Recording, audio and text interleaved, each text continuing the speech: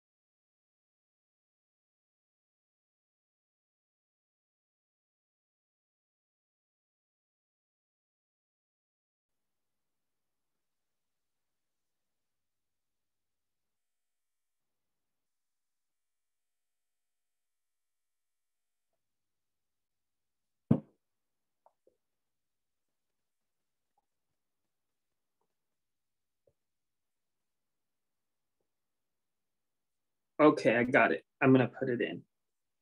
Did you use plus six two, Ashton? Because you have to use plus six two since I'm living in America.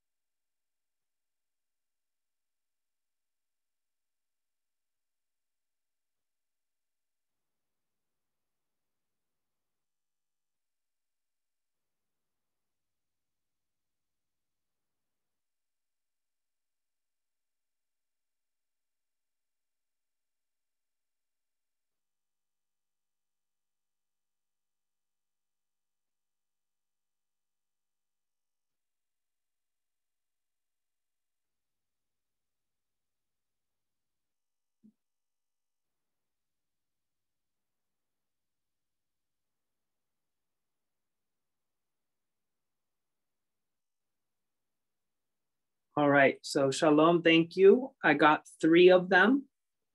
I got your workbook, so I still need your paragraph. And I need part one and part two of your test.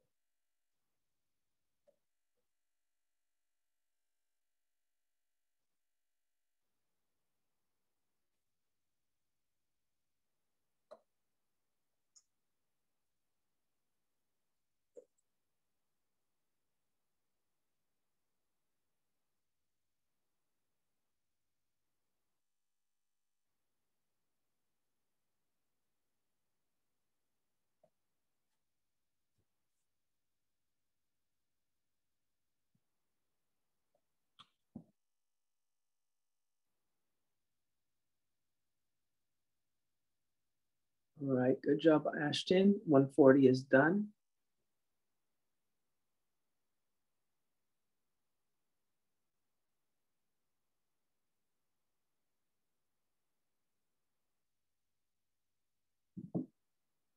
Faithfully, if you have 180, 181, 186, and the paragraph, please send that to me.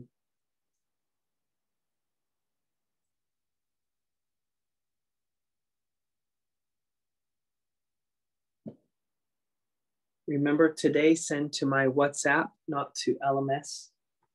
Please send to my WhatsApp.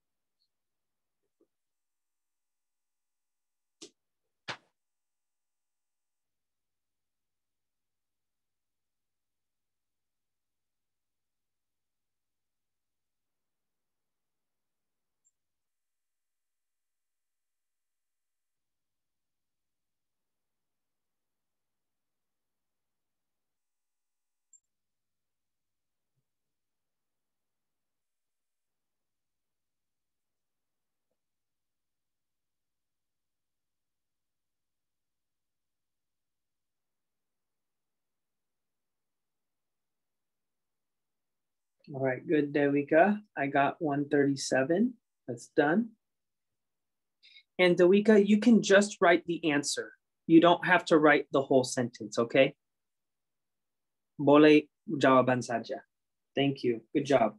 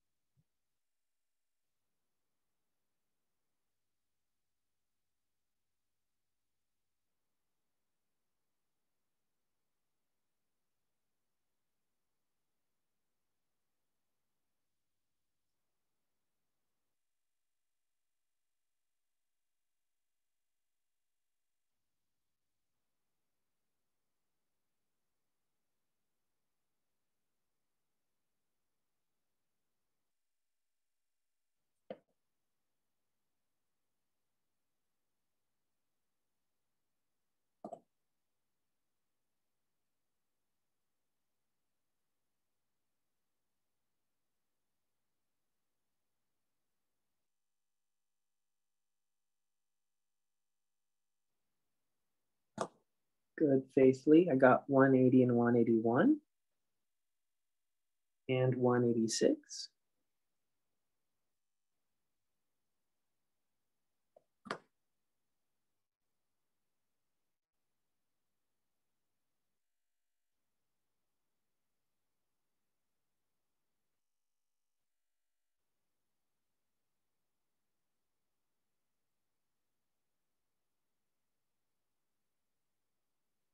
Devin, saya belum dengar dari kamu dan saya udah kirim WA ke kamu. Devin, tolong balas. Jadi saya tahu kamu aktif dan kerja di kelas. Devin, tolong kontak saya.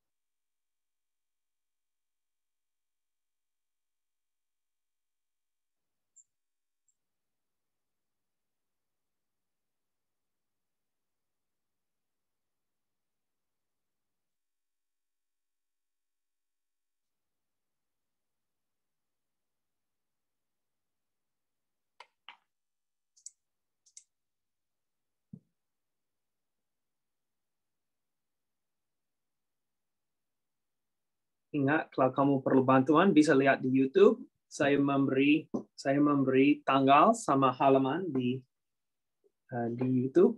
So if you need help, you can look at that.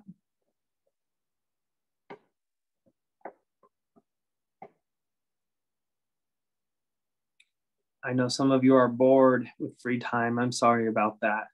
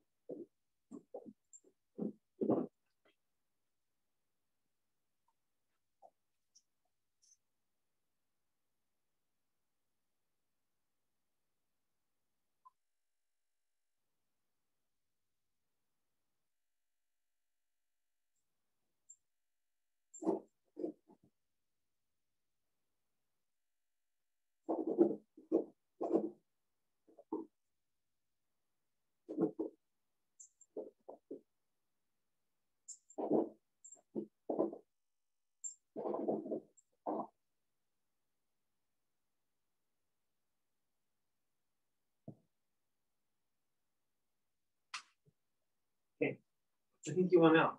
Yeah? Okay. There you go.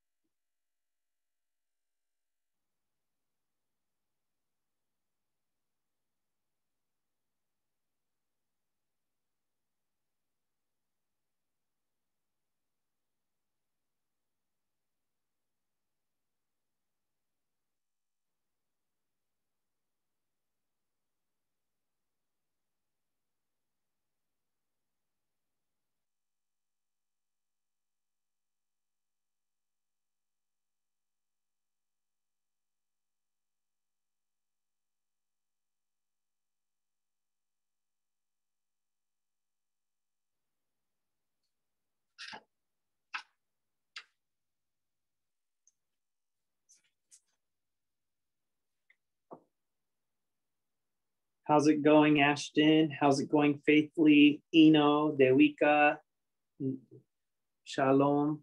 How's it going? Hopefully, you're doing well with your work.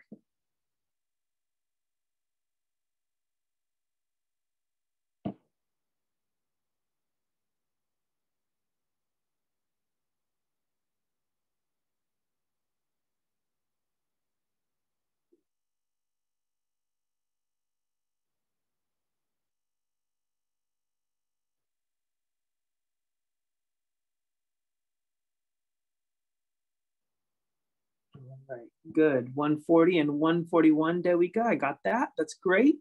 Good job.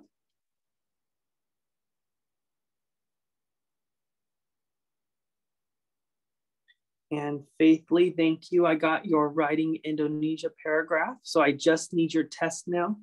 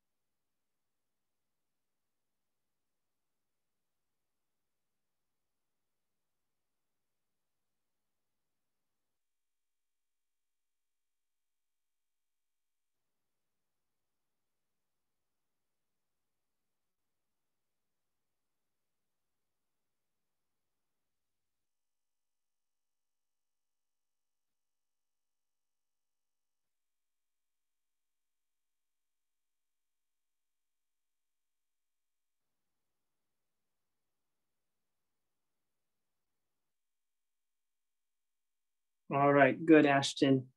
137 is done.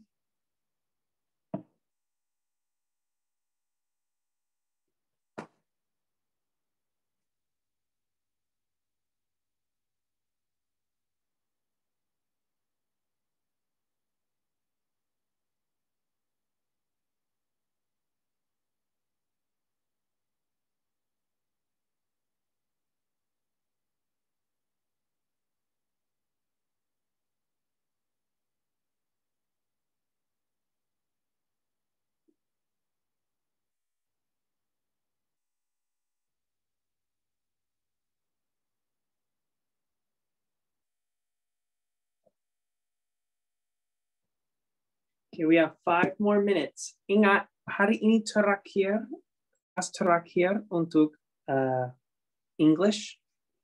Jadi, kalau belum selesai, ketika kelas selesai, kamu harus kerja sendiri dengan waktu waktumu sendiri. Oke? Okay?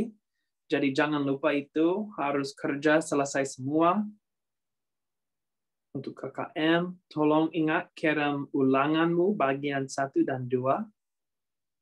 Kamu selalu bisa kontak saya di WA untuk menerima bantuan.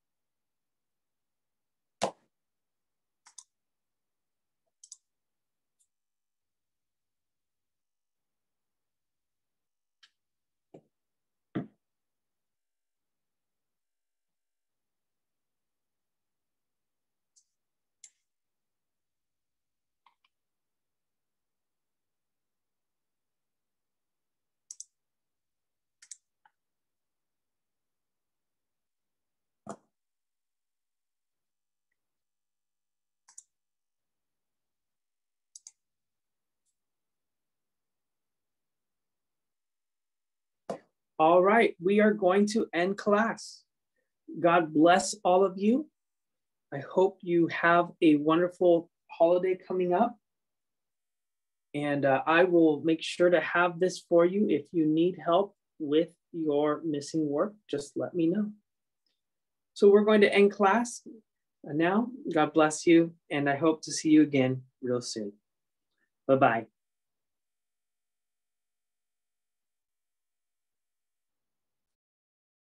Oke anak-anak, kita sudah berdoa. Silahkan diambil dulu ya buku paketnya yuk. Saya buka LMS terlebih dahulu ya.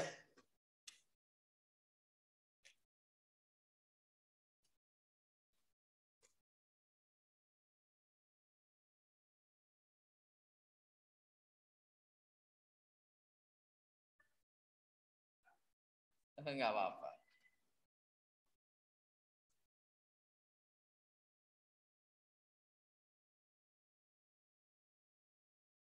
Tidak bisa juga.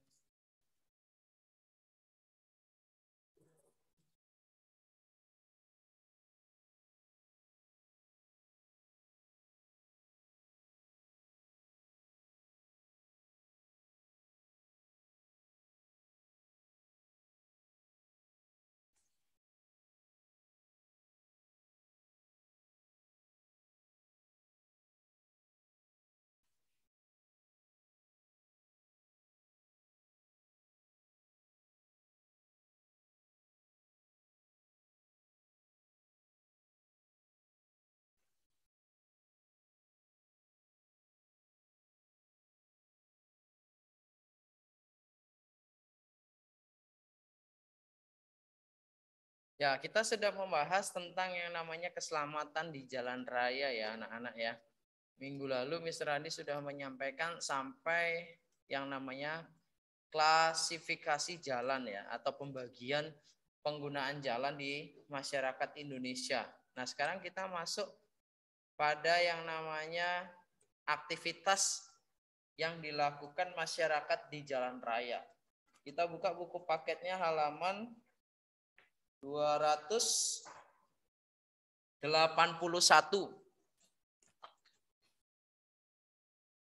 Aduh, nggak kuat saya pakai masker.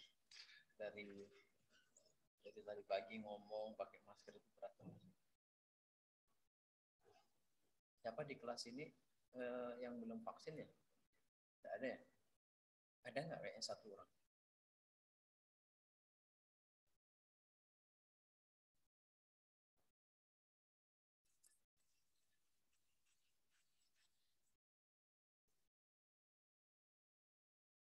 Oke, kita akan lanjutkan materi kita. Hari ini membahas yang pertama adalah jenis aktivitas di jalan raya. Oke, jenis-jenis aktivitas masyarakat yang ada di jalan raya. Apa saja coba aktivitas masyarakat yang ada di jalan raya?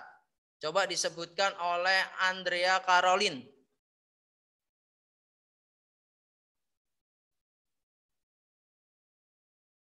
Ya, Mister. Ya, silakan Andrea sebutkan macam-macam aktivitas masyarakat yang ada di jalan raya apa saja. Um, aktivitas pejalan kaki. Pejalan kaki, terus apa lagi nak?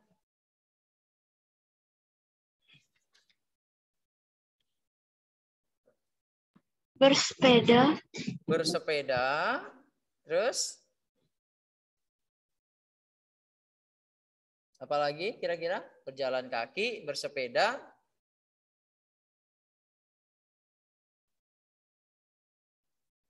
Mungkin ditambahkan oleh Aston. Aston Renio, silakan nak. Ya, Mister.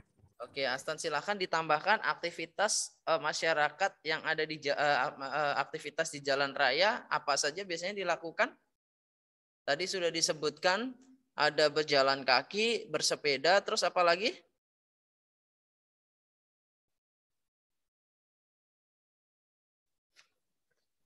Mengendarai mobil.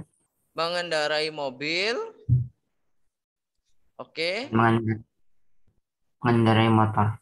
Mengendarai motor. Ya, terus apa lagi? Apalagi coba? Satu lagi apa? Menggunakan kendaraan umum atau angkutan umum ya, seperti bus, apalagi angkutan umum, bus, terus becak di Bali nggak ada ya becak ya, bemo di Bali nggak ada bemo, angkutan lah ya, angkutan seperti sekarang kalau di Bali itu ada namanya bus teman bus atau besar bagita itu ya. Oke. Jadi tadi yang disebutkan oleh teman kalian itu adalah macam-macam atau jenis-jenis aktivitas di jalan raya. Kita bahas terlebih dahulu aktivitas yang pertama adalah aktivitas berjalan kaki. Ya, aktivitas pejalan kaki. Oke. Aktivitas pejalan kaki ini tergolong dalam transportasi yang digunakan untuk menjelaskan orang yang berjalan di lintasan pejalan kaki baik di pinggir jalan, trotoar, lintasan khusus bagi pejalan kaki atau penyeberang jalan. Ya. Jadi idealnya pejalan kaki itu jalannya di mana kalau di jalan raya? Di tro di trotoar. Trotoar itu kalau kita di jalan raya itu eh, apa namanya? Tekstur bangunannya dia lebih tinggi daripada jalan ini ya, jalan sepeda motor ya atau jalan utama ya. Itu keperuntukannya untuk pejalan kaki, namanya trotoar. Kalau kita menyeberang harus di zebra cross atau jembatan penye penyeberangan. Kalau di Bali nggak ada jembatan penyeberangan, kita nggak pernah ketemu. Kalau kalian ke Surabaya, kalian ke Jakarta, pasti banyak menemui jembatan penyeberangan tinggi dia naik ke atas dulu. Jadi kita nggak boleh nyebrang langsung di jalan raya itu nyebrang nggak boleh, ya. Oke, jadi nggak boleh. Ada ketentuannya. Nah, yang pertama yang harus diperhatikan, yang harus diperhatikan pejalan kaki adalah berjalan pada bagian jalan yang diperuntukkan bagi pejalan kaki, yaitu trotoar, jembatan uh, penyeberangan, terus kalau udah apa namanya zebra cross, ya. Kalau tidak ada itu kita harus berjalan di bagian paling pinggir. Contohnya kalian kalau di Tunas Daud ini kan jalan Tunas Daud kan nggak ada trotoar kan, kalian nggak pernah melihat trotoar kan di sepanjang Tunas Daud.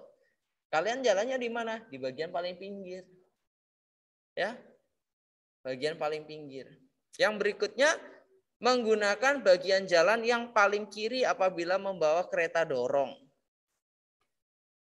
Ya, next berikutnya menyeberang di tempat yang telah ditentukan. Ya, tadi Mr. Andi katakan ada zebra cross dan jembatan penyeberangan. Ya, next berikutnya kita masuk pada aktivitas kedua adalah aktivitas bersepeda. Aktivitas bersepeda ini marak di saat pandemi COVID, betul ya? Semua berlomba-lomba beli sepeda saat COVID. Siap ada ya ada ya di sini yang beli sepeda baru. Ada nggak di Zoom yang beli sepeda baru saat COVID? Nggak pernah main sepeda tiba-tiba beli sepeda, ya? Oh ino. ya. Nah kalau kita naik sepeda anak-anak itu kita juga harus mentaati yang namanya rambu-rambu lalu lintas. Kita tidak boleh semaunya sendiri. Kalian lihat ini ya, ini loh, yang gambar ini, ini ini kondisinya di mana ini kira-kira? Ini patung ini kalian tahu nggak patung apa ini? Ya? Di Jakarta ya. Ini di Jakarta. Ini kalau kalian kalau naik naik sepedanya seperti ini menurut kalian udah sesuai apa belum? Sesuai nggak naik sepedanya menurut kalian? Berjejer, bersebelahan gitu? Melanggar lalu lintas enggak? Iya, dia dianggap melanggar lalu lintas apabila jalan tersebut boleh digunakan untuk kendaraan lain. Ya, dia tidak melanggar lalu lintas apabila jalan tersebut adalah jalan khusus. Contoh, setiap hari Minggu biasanya di lapangan Renon itu ada yang namanya aktivitas car free day. Betul nggak? Di sana hanya yang boleh melintas adalah sepeda, pejalan kaki, Ya, orang yang beraktivitas seperti skateboard, mungkin atau lari. Jadi kendaraan bermotor, motor, mobil itu nggak ada lewat. Nggak boleh. Nah, kalau ini momennya seperti itu, ini boleh, nggak masalah. Ya, ini dianggap tidak melanggar lalu lintas. Tapi kalau tidak acara-acara khusus, tidak boleh kita mengendarai sepeda gayung dengan posisi seperti ini, bersebelahan. Harus depan belakang. Kalian tahu di jalan-jalan sekarang, kalian melihat di sisi sebelah kiri ada jalan khusus untuk sepeda gayung, pernah melihat enggak? Pernah melihat? Enggak pernah. Pasti enggak pernah keluar rumah. Jarang. Pernah lihat enggak? Jalan khusus untuk sepeda gayung. Pernah enggak Dewika? Pernah ya. Desa pernah lihat. Tapi enggak banyak. Ya di jalan-jalan khusus. Itu ada nak jalannya cuma satu meter lebarnya. Ada garisnya khusus gitu. Masih tetap satu jalan, satu jalan, tetapi dia dibuatkan garis khusus dan ada gambar sepedanya di sana. Di Jakarta banyak, karena di Jakarta kan banyak orang yang mau melakukan aktivitas menggunakan sepeda. Kalau di Bali, Bali kan tidak terlalu. Ya, jadi tetap mematuhi rambu lalu lintas. Kalau kita ketemu traffic light merah ya kita berhenti. Ya, jangan malah bablas. Nggak boleh. Emang sih naik sepeda kan nggak ada SIM-nya. Tetapi kan kalau kita melanggar kan nanti bisa dihukum sama polisi.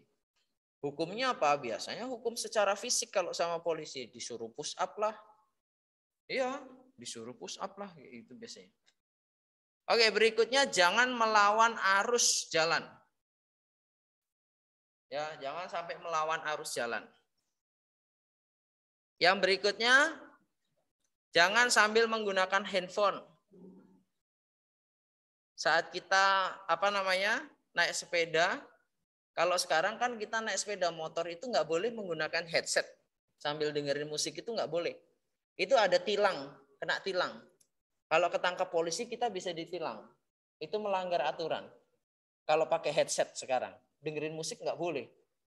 Ya, karena apa? Kalau kita dengerin musik, otomatis musiknya volumenya kita tinggikan ya, kita kerasin supaya tidak bising bising kan kendaraan bermotor lalu lalang yang kita lewatin. Makanya volumenya digedein. Nah kalau nggak kalau pakai headset itu nggak boleh karena apa? Saat ada klakson, tin tin tin tin nggak dengar. Nah itu membahayakan yang disebut pengendara lain. Ya itu nggak boleh. Jadi harus apa namanya? Apalagi pegang HP nggak boleh naik motor pegang HP ya kayak Gojek aja saya sering marah juga sama Gojek. Gojek itu kan kalau naik motor HP-nya kan ada bracketnya itu ya, yang di dekat spionnya itu ya. Kadang kan dia kan nggak nggak fokus naik motor, kadang lihat-lihat gini, kadang gini-gini kan tangan kirinya itu nggak boleh, itu berbahaya. Itu berbahaya sekali. Ya, kalau sekarang sebenarnya kita mau pakai GPS, anak-anak kita pakai GPS itu kan mudah tinggal dikonekin aja headset bluetooth kan. Denger kan suaranya belok ke kiri 10 meter lagi belok ke kanan. Melewati jalan ini. Kan gitu biasanya kan GPS kan nggak perlu kita melihat arahnya itu kan kita tinggal dengerin aja. Kalau lost koneksi itu biasanya sinyalnya kan nanti kan bisa kembalikan lagi. Enggak seperti orang-orang ini apa namanya ojol itu. Ojek online itu.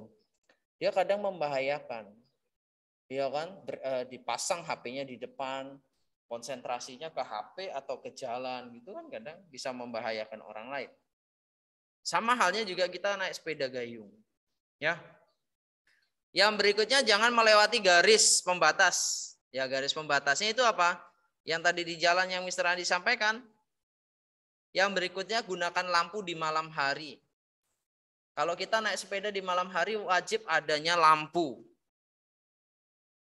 supaya mengetahui adanya orang yang melintas. Mister, kalau nggak ada lampu bagaimana? Ya carilah mungkin sepatu yang glow in the dark. Ya kan kalau kena sinar matahari kan nyala ya, betul ya? Ya betul ya Jeremy ya, glow in the dark itu ya. Atau pakai baju atau pakai helm ada stikernya yang glow in the dark. Jadi kalau kena sinar matahari kan nyala. Jangan mukanya berdoa nanti kan dikira hantu nanti ya. Jadi itu tan uh, maksudnya gini anak-anak. Saat kita mengendarai uh, kendaraan bermotor yang lain itu melihat oh ada orang yang melintas. Oh ada orang yang naik sepeda. Ya. Jadi orang itu lebih hati-hati. Ya, lebih hati-hati. Oke, next. Saya cek dulu. Halo Steven.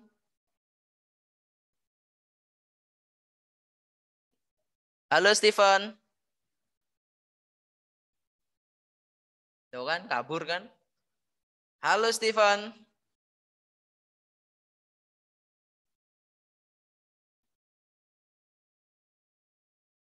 Halo Noah.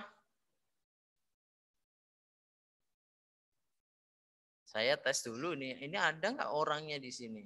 Noah hadir, oke. Steven mana Steven? Halo Steven. Steven nggak ada ya?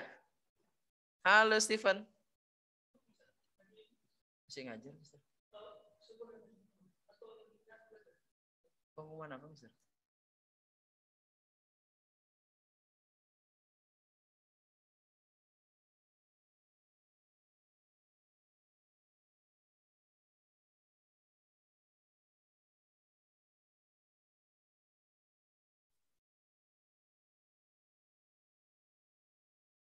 Oke, saya lanjutkan lagi ya. Steven ada nggak Steven nih? Oh kalau nggak ada saya pindahkan Steven aja nih ngapain ada di kelas ini. Oke, program baptisan kalian tolong siapkan diri masing-masing ya. Kalau memang sudah siap mau masuk program baptisan silahkan. Jadi saya tidak anti dengan yang namanya baptisan. Tapi silakan benar-benar kalau memang imannya sudah siap, udah udah kuat, bolehlah. Tapi kalau belum nggak usah ikut-ikutan ya anak-anak ya. Karena buat saya baptisan itu sangat krusial. Karena orang yang sudah dibaptis itu hidupnya jauh lebih banyak tantangannya daripada orang yang belum dibaptis. Sekarang kalian siap atau enggak? Kalau udah dibaptis, uh, siap atau enggak dibaptis sekarang? Kalau belum siap tidak masalah Mr. Andi dibaptis itu usia 24 tahun saya baru dibaptis. Usia 24 tahun saya baru dibaptis. Ya, jadi tidak usah tergesa-gesa. Baptisan itu juga keyakinan kalian benar-benar sama Tuhan dalam artian apa? Mau siap melayani lah dan lain sebagainya. Oke? Next kita lanjutkan lagi ya. Aktivitas berikutnya adalah aktivitas eh, menggunakan bus atau angkutan umum ya, jasa angkutan umum kita sering sebut dengan eh, jasa angkutan umum ya. Kalau di Indonesia ini ada bus antar kota, bus antar provinsi, bus antar daerah ya. Kalau bus antar daerah itu contohnya kita menggunakan yang namanya besar bagita. Itu daerah Kota Denpasar dan Kabupaten Badung. Contohnya ya. Jadi dia melintas dari Kota Denpasar, dibawa kita ke Nusa Dua, ke Tabanan, itu bisa besar bagita. Atau satunya apa namanya? Teman bus ya. Kalau nggak salah ya.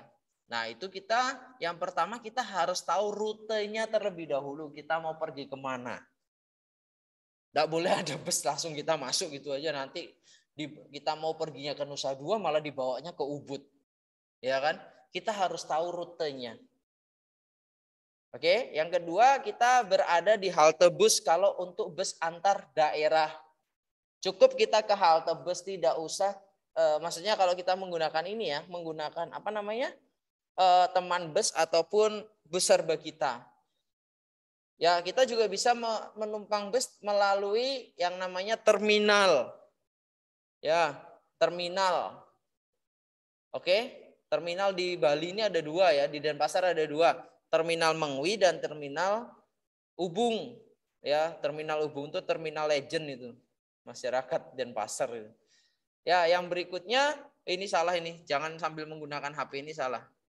Tapi ada baiknya juga ya kalau kita mengendari bus, eh kalau kita naik bus anak-anak, apalagi perjalanan antar provinsi, kalau kita menggunakan HP ini contohnya ya, Kita main HP.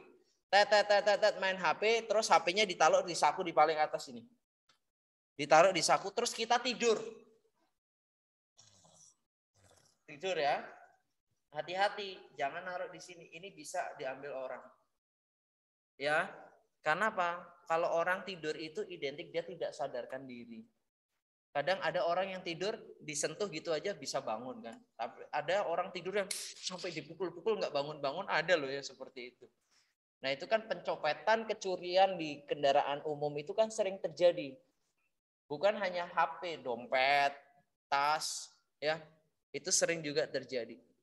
Yang berikutnya diupayakan bayar dengan uang pas.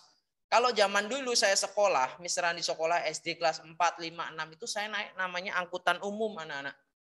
Nah, saya naik angkutan umum itu saya bayarnya pakai koin.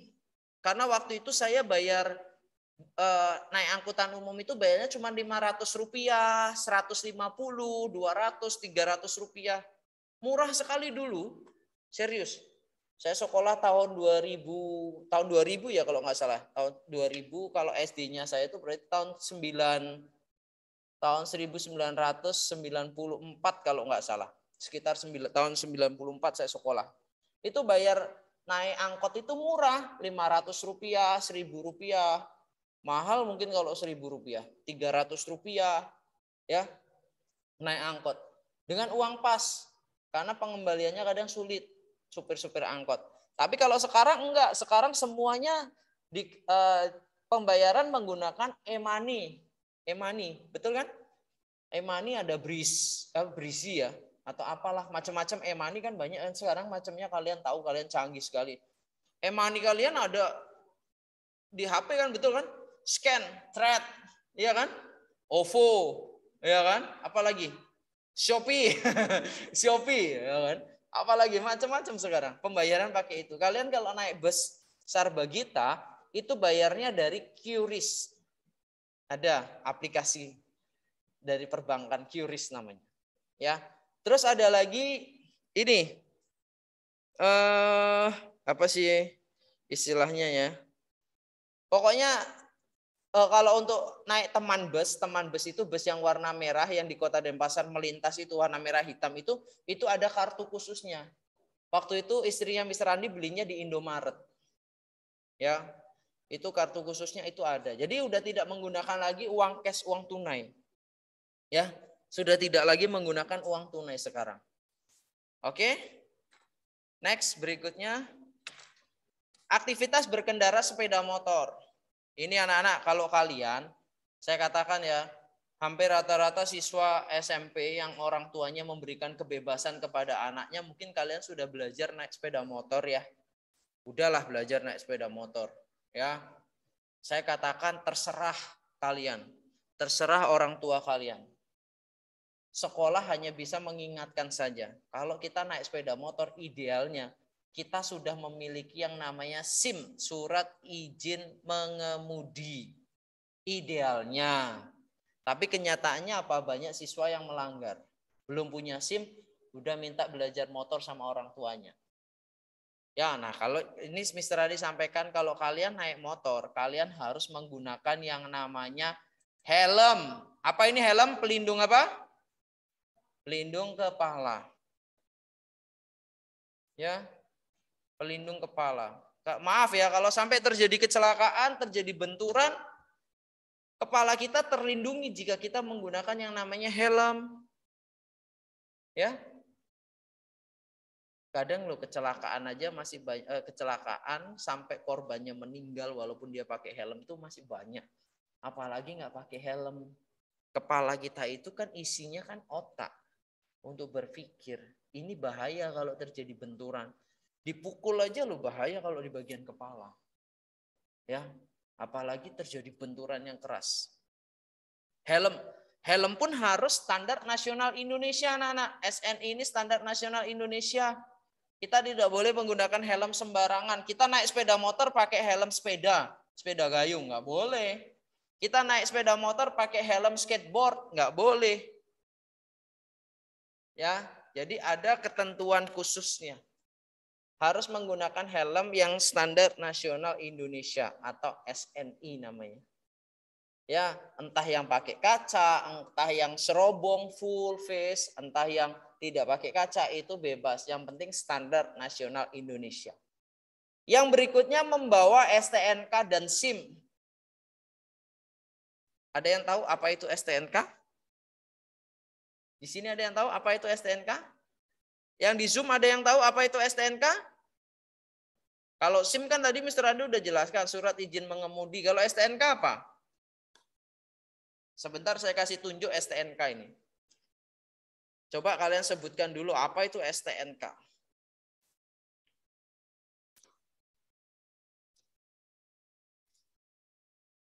Surat tanda nomor kendaraan bermotor. Betul, Faithly.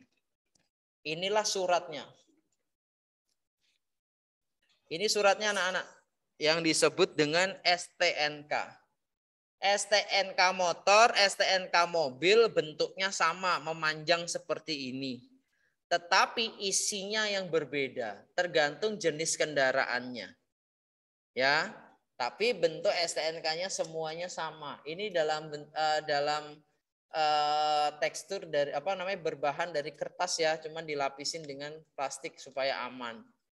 Karena ini kalau basah mudah robek, namanya juga kertas. Ini yang disebut dengan STNK. Kalau SIM ini yang mengatur adalah mana SIM-nya Mr. SIM. Kalau SIM ini yang mengatur adalah Kepolisian Republik Indonesia. Ya, SIM. Kalau STNK ini dinas tersendiri perhubungan Ya. Oke. Jadi kalau kita naik motor kita harus membawa dua surat ini, surat wasiat. Ini namanya surat wasiat. Kalian baru bisa membuat SIM, surat izin mengemudi kendaraan bermotor ini usia 17 tahun. Ya, kalau kalian sudah punya KTP baru kalian bisa memiliki membuat yang namanya SIM. SIM ini berlaku lima tahun. SIM-nya Mr. Rani ini saya buat tahun 2021, berakhir tahun 2026. Lima tahun. Urus SIM ini harganya 200 ribu, kurang lebih. Nah kalau STNK ini, ini berkaitan dengan pajak kendaraan bermotor yang harus dibayarkan. Papa mama kalian punya berapa kendaraan di rumah? Mobil contohnya punya satu, motor punya empat ya kan? Atau mobil dua, motor tiga. Itu setiap tahun papa kalian harus mengeluarkan uang untuk membayarnya. Membayar pajaknya. Motornya Mr. Andi, motor Vario, ini pajaknya sekitar 460 471 ribu. Setiap tahun saya harus bayar ke kantor pajak sebagai warga negara yang baik. Ya, kalau tidak membayar ini nanti bisa ditilang namanya. Kalau sudah kena tilang kita bahaya. Nanti ada persidangan namanya. Ya, inilah contohnya STNK. Jadi kalau naik motor, idealnya sudah usia 17 tahun. Ya, sudah memiliki yang namanya surat izin mengemudi. Ya, harus punya surat izin mengemudi. Kalau tidak ada surat izin mengemudi, sebaiknya jangan. Ya, berikutnya menyalakan lampu di siang hari. Ini wajib ya kita menyalakan lampu di siang hari. Yang keempat, pastikan kendaraan berfungsi dengan baik. Entah itu remnya, klaksonnya, lampunya berfungsi dengan baik. Oke. Next. Kesalahan yang dilakukan pengendara sepeda motor. Yang pertama, tidak mematuhi rambu lalu lintas. Yang kedua, memodifikasi, memodifikasi motor terlalu berlebih. Nih, hati-hati nih. Yang sudah dikasih kepercayaan sama papa mamahnya, udah dikasih motor, ya tidak perlu motor kita itu dimodifikasi. Bannya standarnya ukuran apa namanya besar gitu kan? Karena lihat teman-temannya di jalan pakai ban yang kecil-kecil diganti pakai ban kecil. Itu kan tidak standar namanya. Itu dimodifikasi. Tetapi secara berlebihan. Padahal apa? Kalau kita beli motor itu sudah diukur. Ya. Transmisinya, keseimbangan motornya, ya, udah diukur semuanya supaya pengendara itu aman dan nyaman mengendarainya. Kalau sekarang anak-anak muda sekarang motornya NMAX, gede motornya NMAX, diganti bannya seperti ban sepeda gayung yang kecil-kecil. Banyak itu. Banyak seperti itu di jalan-jalan anak-anak muda sekarang. Banyak sekali. Ya. Itu nggak boleh. Knalpotnya diganti knalpot brong. Knalpot yang suaranya berisik, bising mengganggu masyarakat yang lain. Ya. Terus berboncengan lebih dari satu ini tidak boleh. Berboncengan lebih dari satu ini pengendara ini anak-anak. Pengendara ini yang depan, yang belakang ini yang bonceng. Yang bonceng itu hanya boleh satu. Kalau yang kayak gini ini nggak boleh ini. Ya, ini bertiga ini. Ini yang paling depan ini Stephen. Ya, tengahnya itu Pangestu Giri ini. Ya, yang paling belakang ini Sian Jeremy. Bercanda ya Jeremy ya. Ya, jadi ini boncengan tiga ini nggak boleh anak-anak, apalagi nggak pakai helm. Ini langsung tilang. Kalau kita kena tilang di, ke, di kepolisian, itu kita harus mengikuti yang namanya persidangan. Jadi kita disidang. Nanti eh, di sidang itu eh, kita membayar denda kepada negara. Kalau kita tidak membawa SIM dan membawa STNK, itu minimal 200 ribu dendanya. Kalau tidak membawa dua-duanya 400 ribu minimal. Belum kalau kita melanggar tidak menggunakan helm. Tiga pelanggaran. Belum kalau kita melanggar lagi motor kita nggak ada spionnya. Empat pelanggaran. Oh banyak sekali. Udah empat pelanggaran kita menerobos lampu merah. Lima pelanggaran. Mampus sudah.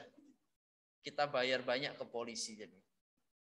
Ya, itu pelanggaran-pelanggaran. Terus yang berikutnya mengendarai motor secara siksak itu tidak boleh. Ya. Next, kita masuk pada rambu-rambu lalu lintas anak-anak. Saya tidak akan membahas rambu-rambu lalu lintas ini terlalu lama. Nanti kalian pelajari sendiri ya. Saya akan menyampaikan garis besarnya saja. Rambu lalu lintas adalah bagian dari perlengkapan jalan yang memuat lambang, huruf, angka, kalimat, dan atau perpaduan antara huruf dan angka. Ya. Yang pertama kita lihat rambu yang di sebelah kiri. Yang Mr. Andi berikan tanda lingkaran. Nah, ini adalah rambu peringatan. Ciri daripada rambu peringatan adalah cat dominan warna kuning. Nah, ini kuning kan? Rambu peringatan tanah longsor, jalan menurun, jalan menanjak, jalan berkelak-kelok, ada hewan melintas. Ya kan biasanya kalau kita masuk di hutan kan ada hewan melintas dan lain sebagainya. Itu ada yang namanya tandanya warnanya kuning anak-anak dominan ya. Tanda peringatan ya. Yang kedua rambu petunjuk namanya. Petunjuk arah kita mau ke Sanur, mau ke Kute, mau ke Nusa Dua. Kalau zaman dulu tidak ada Google Map yang kita lihat dari HP, naik motor kan biasanya papa mama kalian, eh Dewika udah nyampe mana nih? Coba lihat itu belok kiri atau kanan habis ini kan gitu kan di pelang atasnya itu kan. Kalau mau ke Tabanan mau ke mana gitu biasanya. Saya dulu soalnya seperti itu. Disuruh orang tua dan saya suka memperhatikan. Oh kalau mau ke sini belok kiri ya Identik kan warnanya hijau. Coba deh kalian lihat di tengah apa di jalan raya. Berikutnya rambu larangan. Dilarang melintas, dilarang parkir, ya. Itu identik warna dominan adalah warna merah. Warna dominan warna merah. Kalau rambu larangan. Yang terakhir yaitu rambu perintah. Contohnya belok kiri langsung. Ya, ini identik warna biru. Jadi ini sudah ditentukan oleh Dinas Perhubungan. DLLAJL namanya dinasnya. Ya, ini sudah ditentukan. Next. Sekarang marka jalan. Marka jalan adalah suatu tanda yang berada di permukaan jalan yang meliputi peralatan atau tanda yang membentuk garis membujur, garis melintang, garis serong, serta lambang yang berfungsi untuk mengarahkan arus lalu lintas dan membatasi daerah. Ya, marka jalan itu dibagi menjadi empat anak-anak. Ada marka jalan membujur. Yang pertama ini marka jalan membujur. Yang kedua marka jalan melintang. Yang ketiga marka jalan serong dan marka jalan lambang. Ya, kalau marka jalan melintang ini sering kali berada di seputar traffic light atau persimpangan jalan. Kalau marka jalan membujur ini biasanya jalan-jalan besar seperti Gatot Subroto, seperti jalan jalan Bulu Indah, seperti itu. Jalan-jalan utama. Marka jalan Serong ini biasanya juga ada di jalan-jalan besar seperti ya jalan bypass Ngurah Rai, ya, bypass Ngurah Rai, Nah, kalau marka jalan lambang ini biasanya di daerah-daerah tertentu seperti sekolah, depan sekolah biasanya, atau depan perkantoran. Ya, jadi ini marka jalan khusus, marka jalan yang dibuat karena ada aktivitas yang sering dilakukan di seputar situ. Kalau di depan Tunas Daud nggak ada karena Tunas Daud tidak melaporkan ke Dinas Perhubungan untuk pembuatan marka jalan ini. Jadi harus dilaporkan. Next.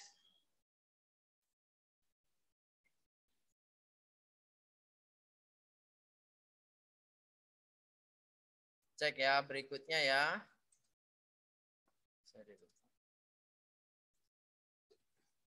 Hal yang harus diperhatikan saat mengendarai mobil sekarang.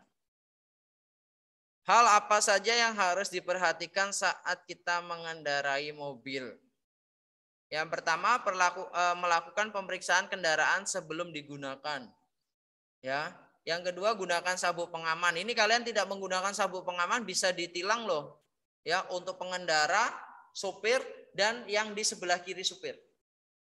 Yang duduk di depan itu wajib menggunakan sabuk pengaman atau seat belt. Berikutnya, jagalah jarak dengan pengendara lain. Yang keempat tidak mengendarai dalam kondisi mengantuk. Kecelakaan sering terjadi akibat pengendaranya mengantuk. Kalau kita mengendarai motor ya atau mobil, kita lengah sepersekian detik saja, oleng, itu bisa terjadi sebuah kecelakaan. Sepersekian detik. Ya, tidak usah 5 10 detik nggak usah Dua, tiga detik aja kalau kita kaget bisa kecelakaan. Bahaya sekali kalau kita mengendarai kendaraan sambil eh, dalam kondisi mengantuk. Yang berikutnya macam-macam pelanggaran. Kendaraan bermotor ya. Yang pertama yaitu kalian lihat ber, apa berhenti di atas zebra cross. Yang kedua naik motor berboncengan lebih dari satu orang. Yang ketiga, ini mengendarai motor di jalur khusus busway atau jalan tol. Kalau di Jawa kan tidak ada jalan tol untuk motor, hanya di Bali saja. Yang berikutnya tidak membawa surat tanda kendaraan bermotor dan SIM. Yang berikutnya melawan arus. Ya, yang kelima motornya tidak standar pabrik sudah dimodifikasi. Oke, materi saya untuk ini sudah selesai. Ya, minggu depan kal uh, kalian libur dan minggu berikutnya kalian akan ada pelaksanaan penilaian akhir tahun, ya. Mister Andi sampaikan untuk materi ini kalian tolong mengerjakan PR anak-anak. Dibuka buku paketnya halaman 300. Ini PR-nya harus dikerjakan ya. PR PJOK. Saya tulis halaman 300. Oke. Sampai dengan 302. Kerjakan bagian pilihan ganda.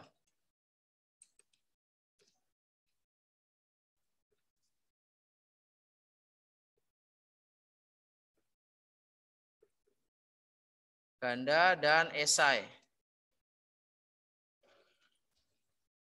Esainya 1 sampai 4, pilihan gandanya 1 sampai 12. Ya, silakan kalian ketik di Word nanti bisa diubah dalam bentuk PDF.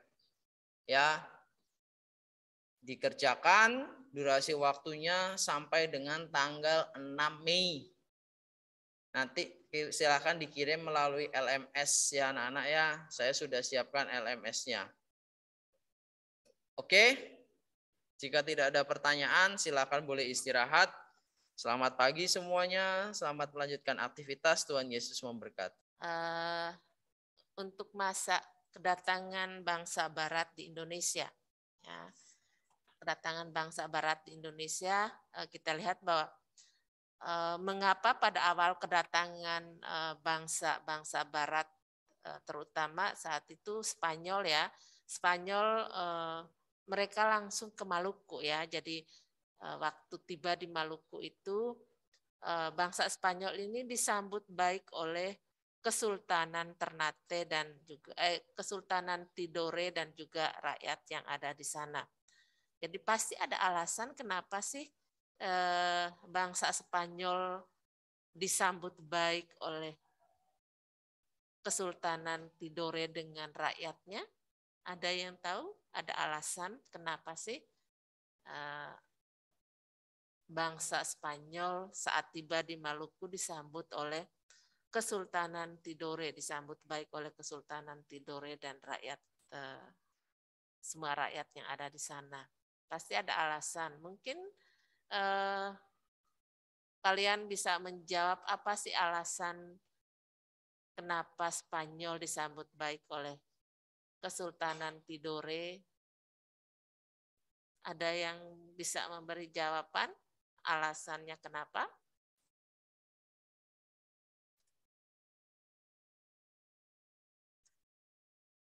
mengapa bangsa Spanyol disambut baik oleh Kesultanan Tidore dan rakyatnya. Kan sebelumnya kan ada beberapa eh, kita tahu bahwa beberapa bangsa Barat yang datang ke Indonesia tidak tidak mereka tidak langsung menerima mereka, tetapi pasti ada Eh, kesempatan-kesempatan yang digunakan. Mungkin melihat mereka melihat apa sih tujuan bangsa ini datang ke Indonesia. Jadi mereka tidak langsung menerima. Ya. seperti kita tahu bahwa saat mereka tiba di daerah Batavia itu juga tidak langsung disambut baik oleh masyarakat atau uh, kerajaan yang ada tetapi kenapa sih eh, saat Spanyol ini tiba di Maluku, mereka langsung disambut baik oleh Kesultanan Tidore. Apa alasannya?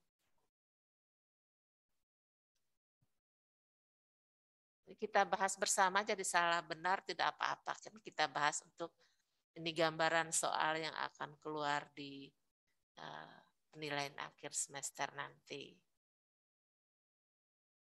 Tidak apa-apa, jawab salah benar tidak apa. Mungkin. Shalom mungkin. Alasannya kenapa Spanyol itu disambut baik.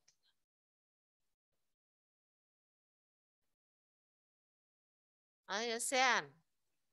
Alasannya kenapa Spanyol sampai di Maluku mereka disambut baik oleh uh, kerajaan Tidore.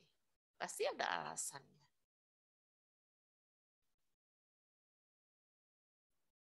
Ini kita bahas eh, kisi-kisi soal yang keluar. Jadi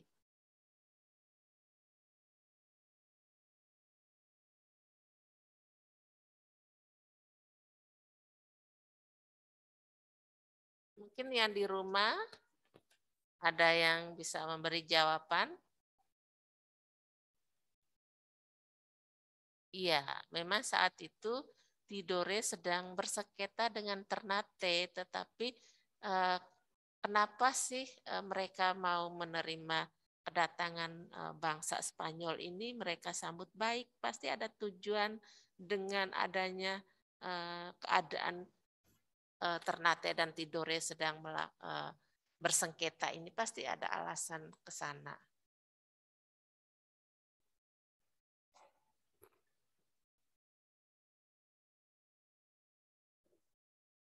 Jadi kenapa rakyat Tidore, eh, kerajaan Tidore menyambut baik kedatangan eh, bangsa Spanyol?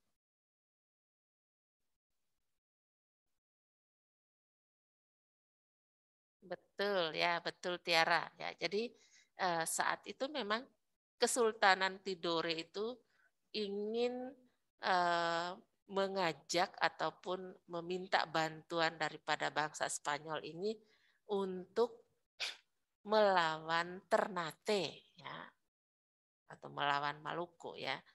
Jadi eh, mereka sedang eh, bersengketa antara Tidore dengan eh, Ternate sehingga Tidore ini kesempatan Spanyol saat Spanyol tiba di Maluku mereka menyambut baik kedatangan Spanyol ini karena Ternate membutuhkan Kesultanan Ternate membutuhkan bantuan daripada uh, Spanyol ini untuk melawan Ternate ya, untuk menghadapi Ternate.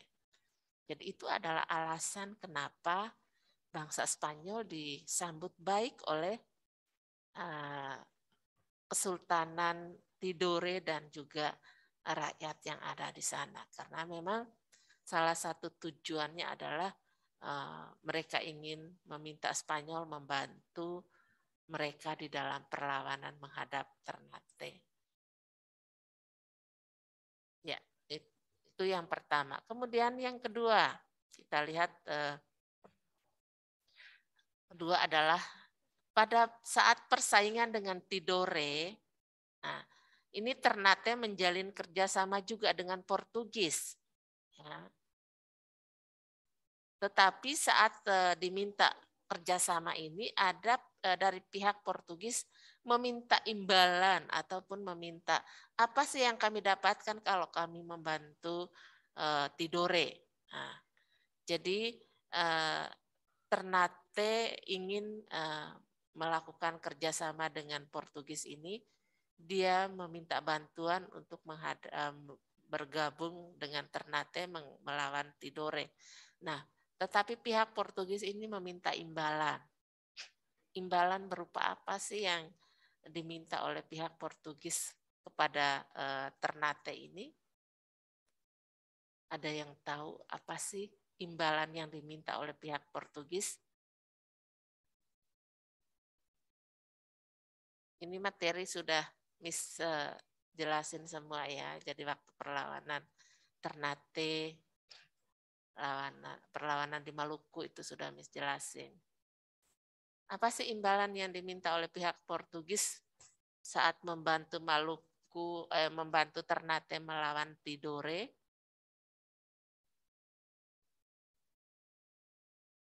Yang di rumah, anak-anak yang di rumah,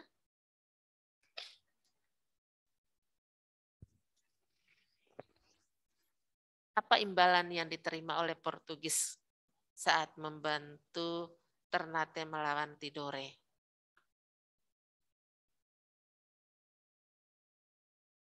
Ini siang-siang kita tanya jawab biar kalian tidak ngantuk. Ayo cari jawabannya, boleh buka buku cari ya. Jadi jangan bukunya belum selesai pelajaran, bukunya sudah dimasukin dalam tas. Ayo belajar untuk memberi pendapat. Jadi salah benar tidak apa-apa.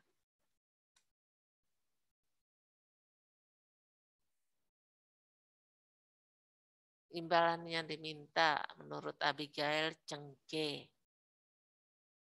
Ada lagi?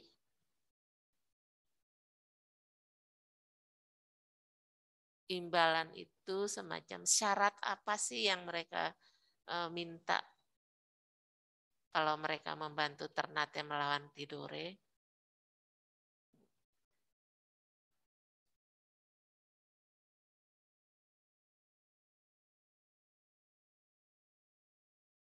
Ada yang lain?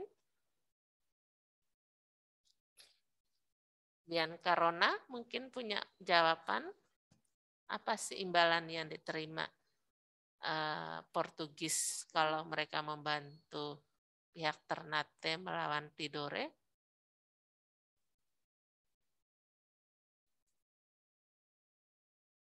Betseba Putri, Miss mau dengar suaranya.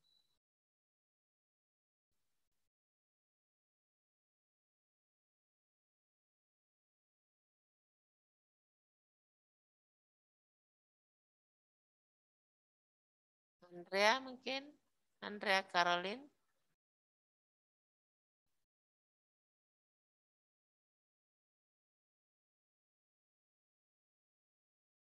Ya, pertanyaannya tadi uh, Betseba, oh ini sudah ada. Ya, sudah ada jawaban dari Faitli bahwa Portugis mendapat hak monopoli perdagangan rempah-rempah di Maluku. Ya, ini adalah alasan kenapa Portugis mau membantu uh, Ternate ya karena mereka minta ingin memonopoli perdagangan rempah-rempah di Maluku. Jadi ini adalah alasan kenapa mereka mau. Jadi saat ditawarin kerjasama oleh Ternate, uh, Portugis langsung menerima tetapi dengan satu alasan atau satu syarat bahwa mereka mau memonopoli perdagangan rempah-rempah di Maluku. Nah, ini adalah alasan yang di uh, alasan kenapa uh, Portugis mau bekerja sama dengan Ternate. Jadi imbalannya bahwa mereka ingin memperoleh uh, perdagangan monopoli perdagangan rempah-rempah di Ternate. Nah, kemudian berikut uh, dampak yang uh, waktu Miss jelasin materi bahwa saat VOC ada di Indonesia itu banyak hal yang dialami dampak monopoli perdagangan dan adu domba yang dilakukan VOC itu banyak eh, dampak negatif yang dirasakan oleh masyarakat atau rakyat Indonesia saat itu. Nah, jadi kita kita lihat bahwa uh, saat VOC melakukan Eh, perdagangan monopoli bahkan sistem adu domba yang dijalankan itu kondi menurut kalian kondisi rakyat saat itu apa baik atau uh, sengsara? Saat uh, diperlakukan uh, sistem adu domba terus monopoli sengsara pasti kondisi mereka uh, sengsara dan juga hidup mereka dalam keadaan kesulitan ya. Kita tahu bahwa itu eh, banyak sekali hal-hal yang dialami oleh masyarakat. Jadi dengan adanya sistem monopoli, kemudian adu domba antar negara, antar eh, kerajaan.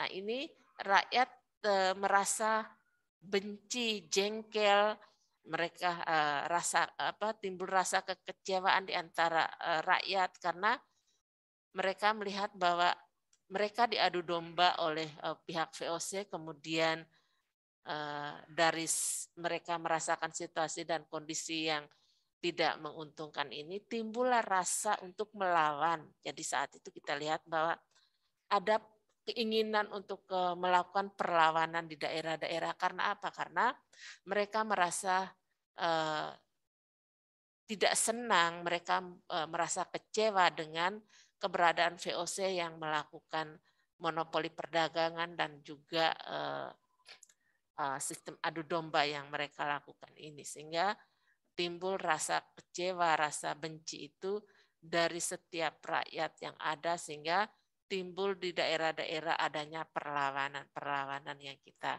uh, sudah pelajari ya. Jadi ada rasa kekecewaan sehingga timbullah rasa ingin melawan uh, pihak penjajah.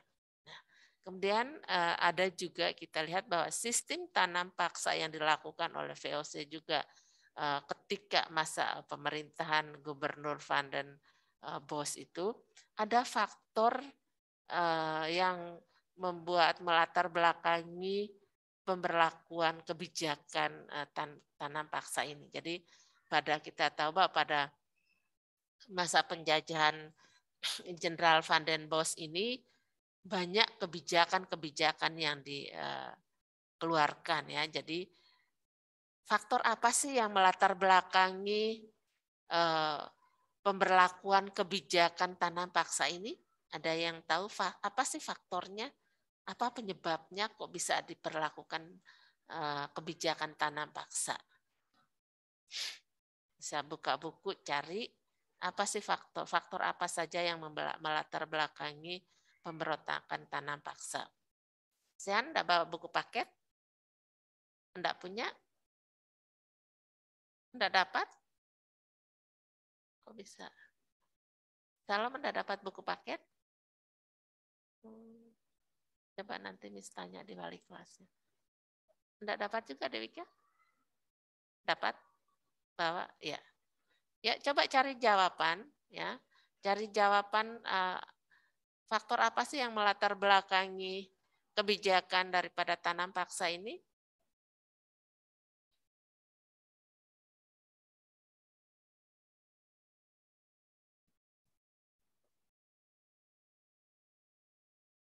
apa faktor yang melatar belakangi kebijakan pemberlakuan kebijakan tanam paksa di Indonesia? Mungkin anak-anak di rumah ada yang tahu apa latar belakang pemberlakuan kebijakan tanam paksa di Indonesia?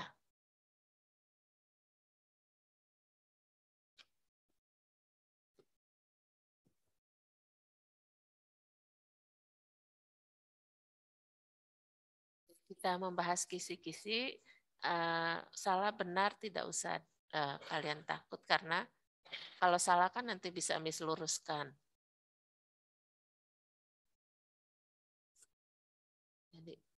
Apa faktor uh, yang melatar belakangi pemberlakuan kebijakan tanam paksa di Indonesia? Iya, menurut Dena, ada keinginan Belanda untuk menguasai hasil bumi, ada keinginan seperti itu. Jadi ada faktor seperti itu juga. Jadi keinginan Belanda menguasai hasil bumi karena ada faktor di belakang itu. Kenapa mereka mempunyai keinginan untuk menguasai hasil bumi Indonesia?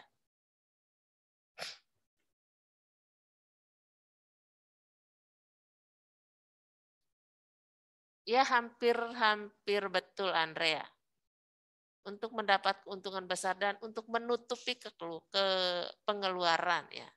Ya, jadi saat itu memang sedang terjadi peperangan juga di daerah Belanda ya, di wilayah di negara Belanda sana sehingga uh, alasan kenapa mereka melakukan me, uh, memperlakukan kebijakan tanam paksa ini karena memang saat itu bangsa eh, Belanda sedang kesulitan ekonomi ya, kesulitan ekonomi dan juga kekosongan kas negara Belanda.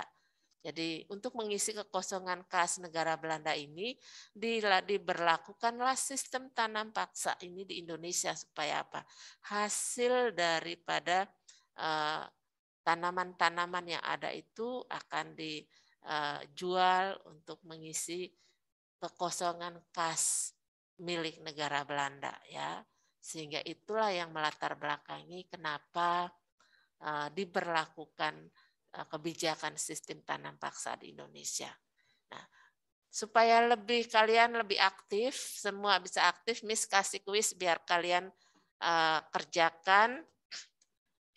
Kemudian uh, jawabannya dikirim ke kolom chat.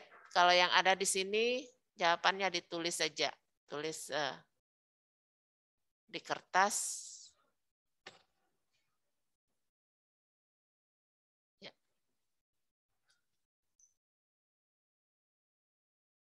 Karena siang-siang gini Miss tanya uh, jarang anak-anak mau merespon, di lebih baik kalian kerjakan ini.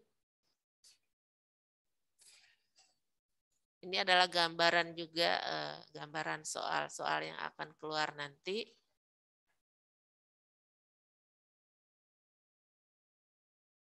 Jadi eh, perkembangan paham yang ada di Eropa saat itu ada imperialisme, ada merkantilisme, ada paham, ada beberapa paham yang yang sedang terjadi di uh, negara barat saat itu. Sedangkan yang dianut oleh uh, bangsa barat saat uh, mereka mengalami atau berkaitan dengan perkembangan kondisi di negara saat itu, terutama mereka ingin melakukan penjelajahan, mencari kekayaan. Inilah yang mendorong bangsa-bangsa Barat untuk melakukan penjajahan, eh penjelajahan samudra. Yang di rumah kirim ke kolom chat ya, biar Miss periksa langsung kasih nilainya.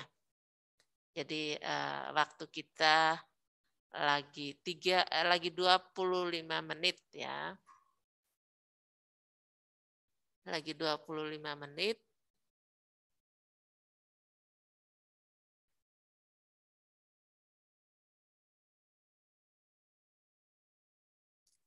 Kirim di kolom chat ya. Yang di sini tulis di kertas atau di buku misarankan sih di buku supaya kalian itu sebagai bahan belajar kalian.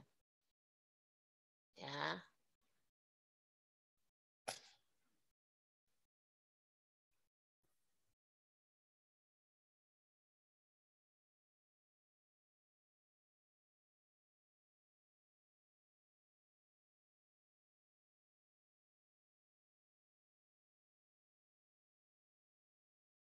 Keteladanan yang dapat kita per, uh, peda, uh, pedomani sebagai bangsa dari para pejuang daerah ketika melawan penjajahan itu apa? Nilai apa yang kita teladani?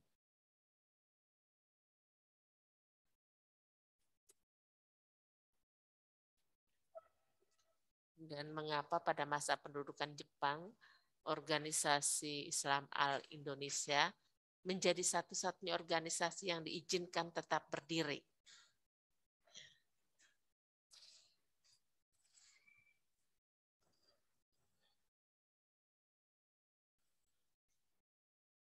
Kemudian dampak positif kebijakan pemerintah Jepang dalam bidang eh, pendidikan saat Jepang menjajah Indonesia itu apa?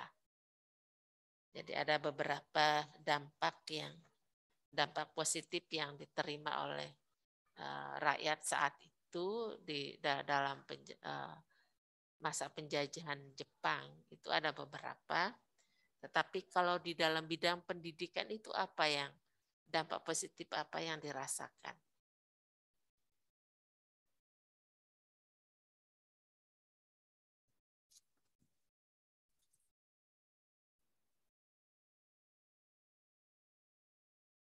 Kemudian yang kelima hak istimewa yang dimiliki VOC. Ini ada delapan hak yang Mi sempat jelasin. Ya, jadi hak istimewa ini adalah hak yang diberikan oleh pemerintah Belanda kepada VOC yang saat itu ada di Indonesia. Itu kita kenal dengan istilah apa? Hak apa? Hak istimewa. Oh, hak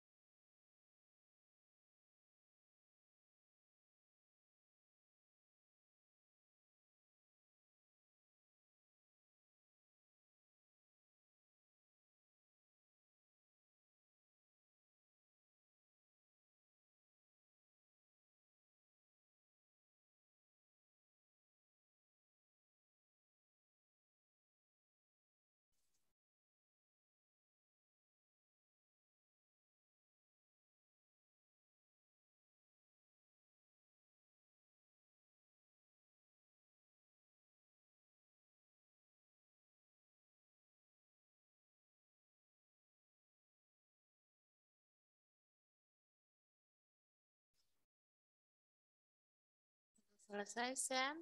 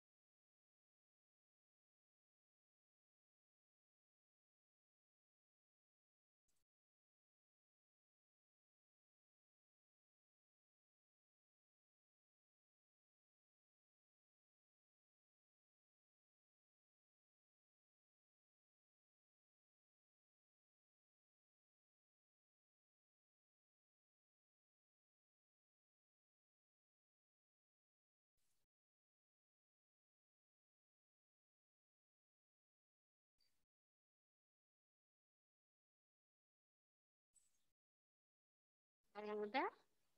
Belum.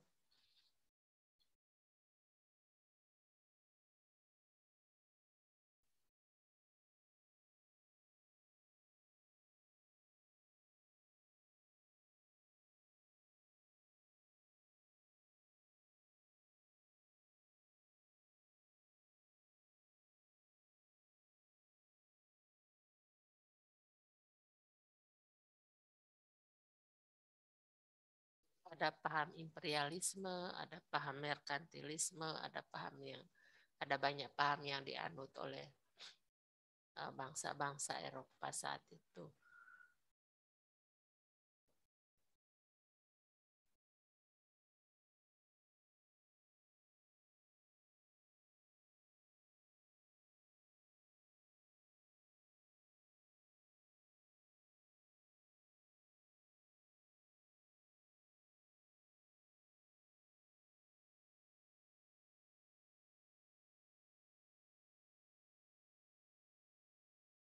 Organisasi Majelis Islam Al Indonesia ini kan dia bergerak di ya, di bidang apa Majelis Islam Al Indonesia. Dia bergerak di bidang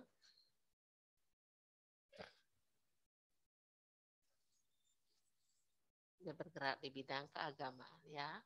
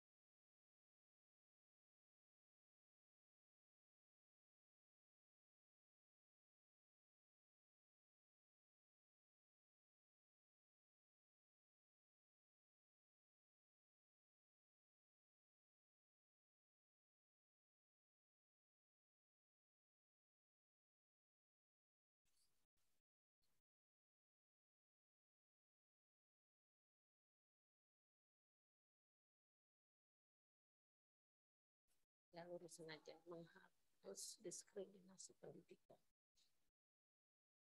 Pertanyaannya kan di bidang pendidikan.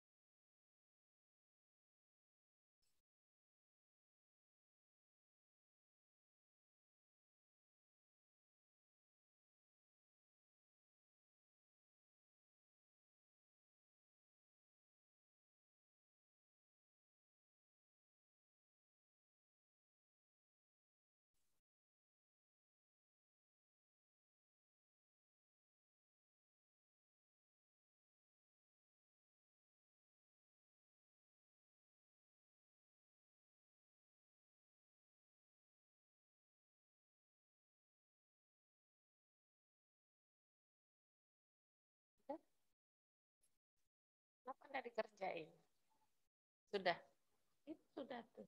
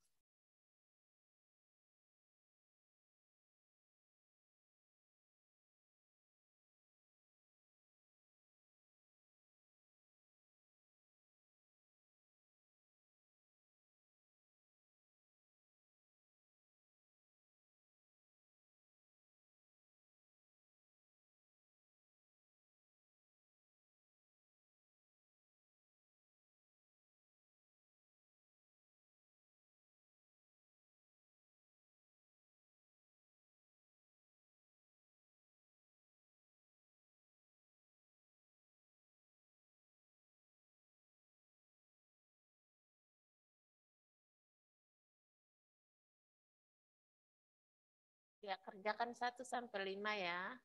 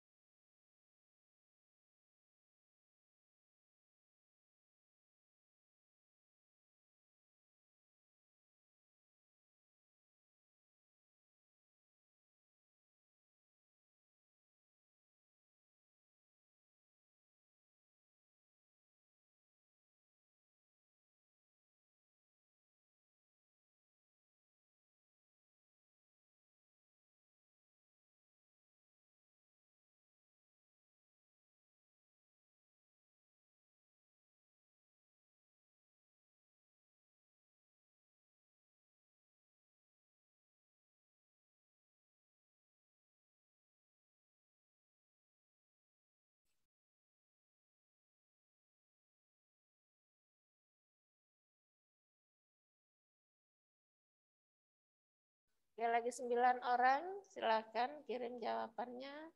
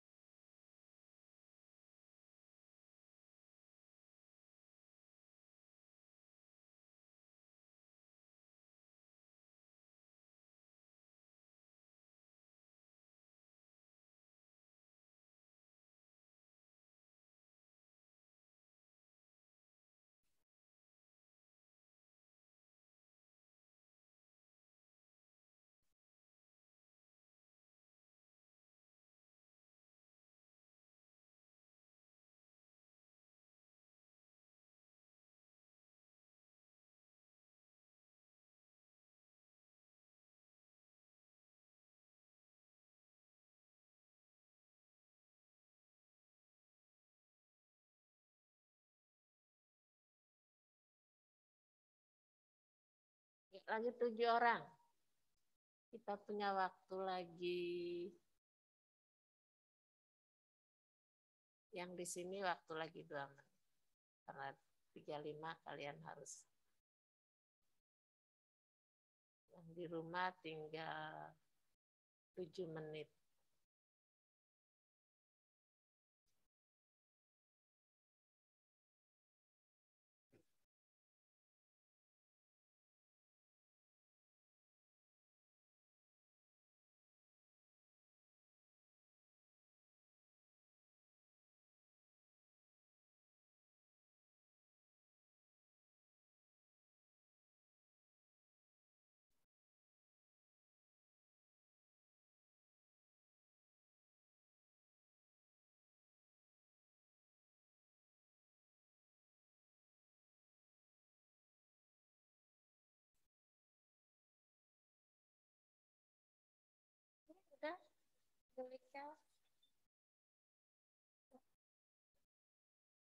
Ya ini lagi tunggu mereka dua.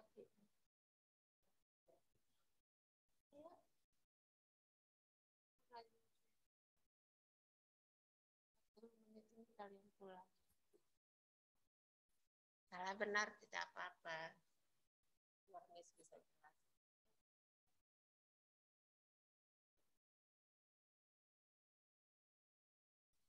Ayo Dirika, salah benar bawa sini berapa? Sudah berapa soal? Hah? Tidak apa-apa bawa sini.